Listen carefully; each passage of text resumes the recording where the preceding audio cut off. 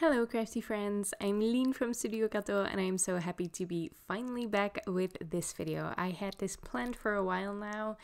This is made with the new collection from Spellbinders, A Country Road, which is so fun. I already posted two videos with it and I love it. But this one is just a really fun technique that I like to use quite often. I'm going to build some patterns with my die cuts. Uh, these are not quick cards to make. If you're looking for a quick card, this is not the video for you, but I do have a lot of tips to share along the way, which is why this video is so long. I made four cards, four different ways to build a pattern, and I have lots of tips and tricks for each one. I'm starting out with this little birdhouse from the Rustic Garden die set from Spellbinders and before I even try to build my pattern, I always uh, put together all of the separate pieces. So all of these birdhouses have a couple of different pieces, so it's not the ideal die cut for a card like this because you're going to spend some extra time putting all of the birdhouses together, but I did cut uh, a little bit uh, from my workload here because there are actually two more branches to build this birdhouse, but I just left them out and no one is going to notice. It was a little bit easier to put together that way. And once all of them are assembled, I cut them in a couple of different colors. I did back them with a layer of white cardstock as well to make them a little bit more sturdy. I can start assembling my card. I like to do these on colored backgrounds, so I am going with a pale green here, and I'm just going to um, figure out the layout here. This part absolutely takes me the longest because, especially for this one, which is a geometric design, because all of the birdhouses are nice and linear, they're all lined up, or they're supposed to be lined up quite perfectly to get the effect I'm going for. Um, you can figure out how many die cuts you need exactly beforehand, which does save some time because usually I have a lot of die cuts left over. Um, but the lining up of this part absolutely takes the longest. Now these are quite big birdhouses. um, you'll see in the next cards that I do use some smaller pieces as well. But with big images like this, when you only have three in a row of them, it's quite easy to just line them up on the card, and it doesn't actually have to be perfect. Mine definitely aren't. But this tool, some press and seal, is really going to help you out here because if you can just line them up once and then pick them all up at once with a piece of press and seal, um, it's going to help you out a lot. It's going to save you a lot of time. I did cut a bunch of tiny pieces of foam tape to put behind these birdhouses, and while I was pulling up the uh, release paper on one of the birdhouses, I actually pulled the birdhouse from the press and seal, so I had to add that in later. But if you just have to add one in separately, it's it's still a lot more efficient than having to uh, add them all separately because these are 12 birdhouses. It's a lot. Now I added this sentiment, so I always leave space for a sentiment usually when I go for this design. I usually have three rows on the top and one row at the bottom. It just works out most of the time. But I did replace the sentiment in the end because I didn't like the way it looked at first.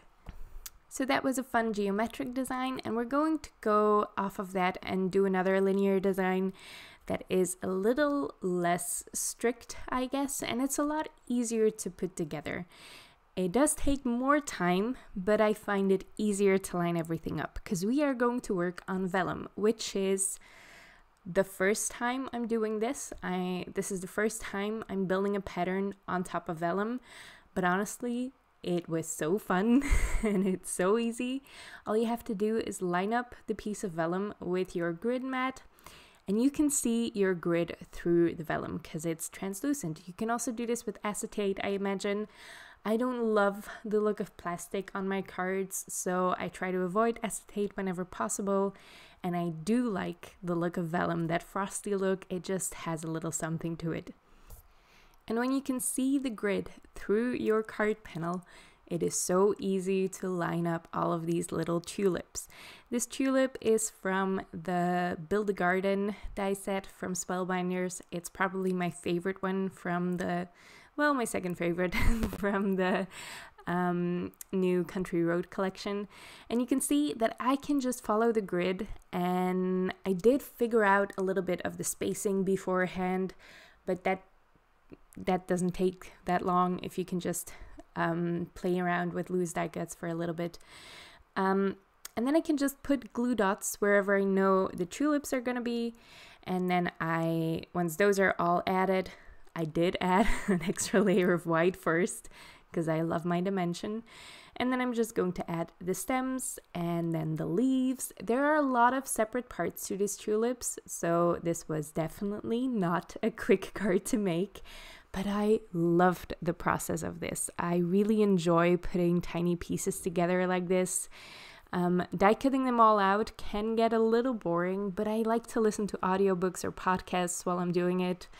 Um, I have a subscription to Scribd. I don't know if you know that uh, or if you know what that is.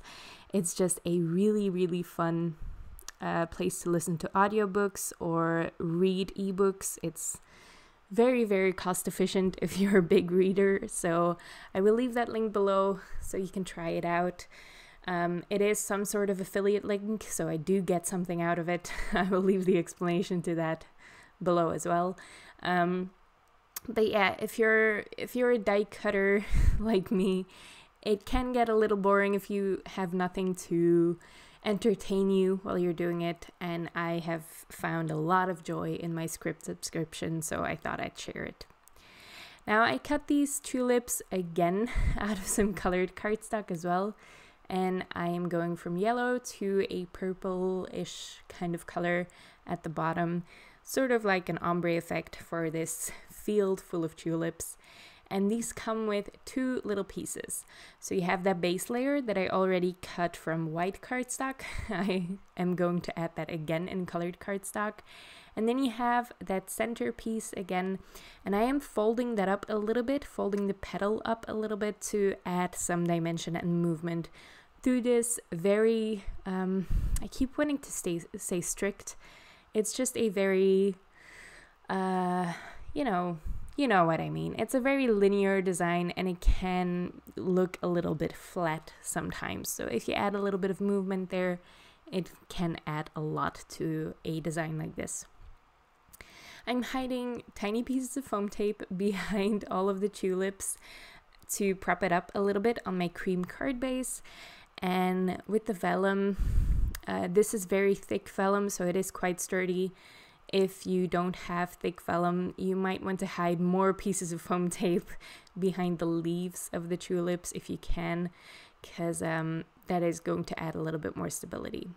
And you can see I cut foam tape with scissors. It's really easy to do because I have a piece of baking paper behind my foam tape as a second release paper. So it's not sticky on either side when I'm cutting it, so it's really easy on my scissors and it's not going to gum up my scissors. I love how this card turned out. It definitely was a labor of love because there are so many tiny pieces, but again, I find this incredibly relaxing. All I have to do now is add a sentiment. This is from the Punch and Pierce Frame and Sentiments die set from Spellbinders, which was a die of the month. So I hope it's still available. If it is, it will be in the description below with all of the other products I used in this video. I'm layering that sentiment up and I have a gold layer at the top and once I'm happy with that I can just adhere it down over top of my tulips. There is a shadow layer for this but I didn't want to cover up any of those tulips at all because it did take me a while to make. So I'm not going to hide any of that. I'm just going to use a scripty layer and glue that down. Once that's in place, I do add a couple of gems as well because I do love my sparkle. And on top of the tulips, I have added some details with um, with a white gel pen to add a little bit something as well to that. So that's a great way to step up your die cuts, just some white gel pen. But my favorite way to step up your die cuts is some Distress spray stains. This is great for if you don't have a lot of colored cardstock, but um, or if you just want to add a little bit of extra to your die cuts. This is going to add a lot of texture to the paper you're using. You can also use pattern paper, but I find that very hard to use, especially for small die cuts like this.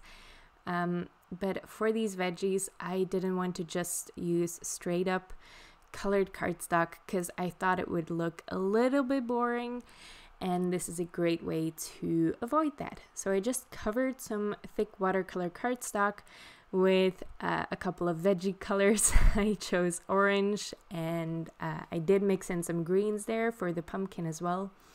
There is some purple carrots, some uh, red tomatoes and peppers, and I have some green peppers as well. So I did make a couple of these backgrounds. You can use backgrounds you've already made that you have left over. You can use shimmery backgrounds, that would be really fun. And all you really do is just spray this to the high heavens till you're happy with it. Build up some layers, dry it in between with your heat tool. I love using my Wow Dual Speed heat tool because it does have a lower setting. Um, if you're if you're wanting to dry a background of watercolor cardstock, you might want to use the lower setting to not burn your paper. but yeah, it's just a really good heat tool if you're looking for one. This is the purple one, which I loved putting together because I got to bring in some pinks and some blues to really get some variation in color going here. I'm just going to use this for the carrots. I've never seen a purple carrot in real life, I just know they exist and I thought that would be a fun touch of color in my pattern. One thing about these backgrounds is they take a long time to fully dry. They will appear dry long before they are. Um, they are going to rub off on your fingers for hours after they appear dry. So I have left these to dry overnight and the next day I die cut my pieces from these and build my cards. So this is my actual favorite die set from the latest release. This is the seasonal decor uh, die set and it has so many different pieces for all seasons. Um, there you can make some fun Valentine's cards with this, Easter cards, but I made a Halloween card today. It's a little early, but I love my Halloween cards. Now I'm first going to just uh, make a veggie card. I am going to again add some colored cardstock to my card base first.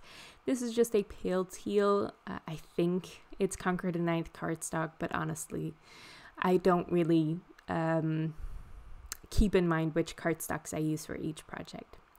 Now this is where I found out that I actually hadn't die cut enough pieces.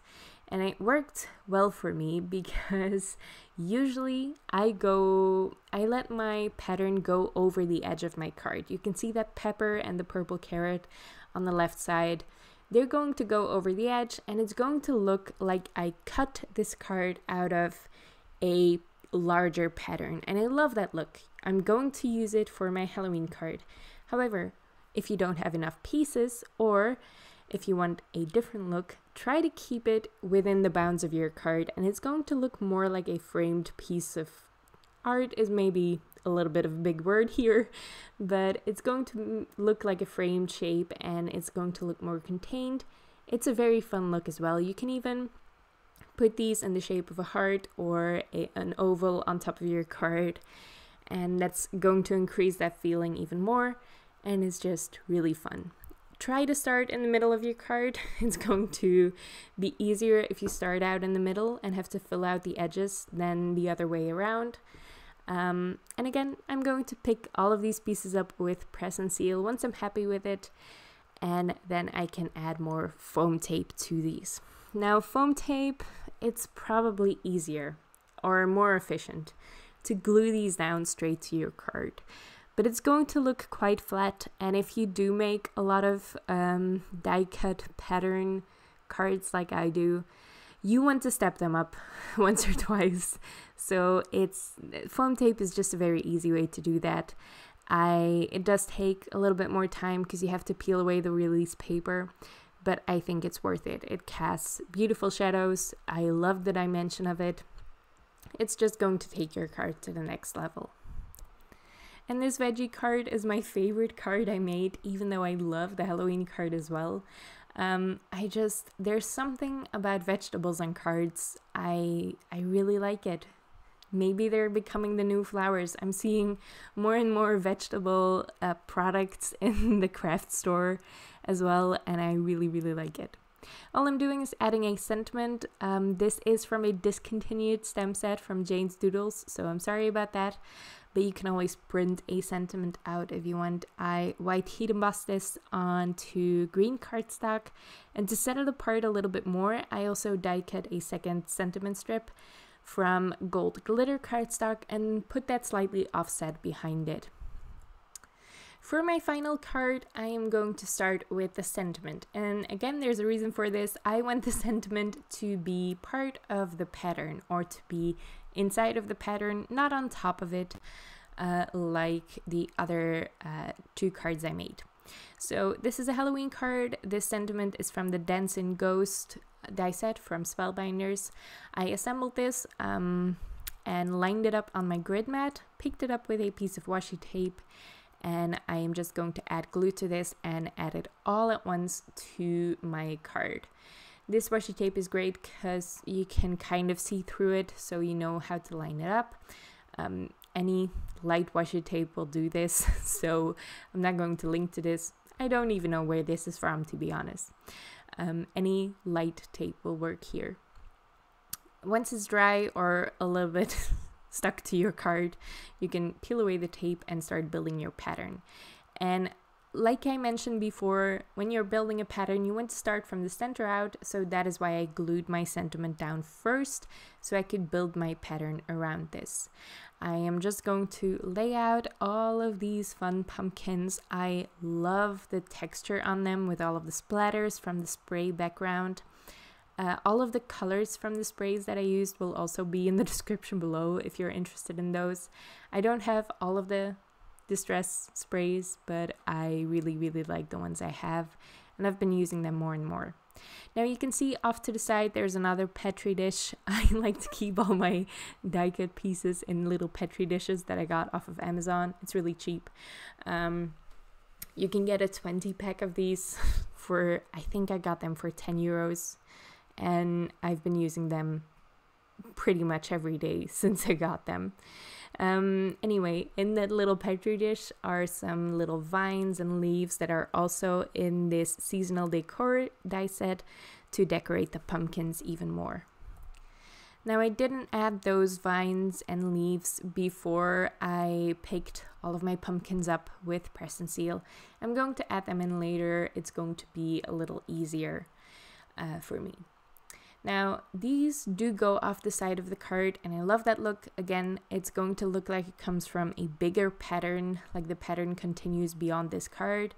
And I am not going to let those pieces of pumpkins go to waste either. I'm going to trim them off of the card, and then I'm going to use them on the inside of the card. Actually, for the veggie card, I did something similar. I had a couple of carrots left over, and something else as well and I added that to the inside of my card as well. So if you have pieces left over, which is often the case when you're building these die cut patterns because you want to cut more pieces than you will probably need so you have plenty of pieces to play with as well. You can always add those on the inside of your card or even to your envelope as well.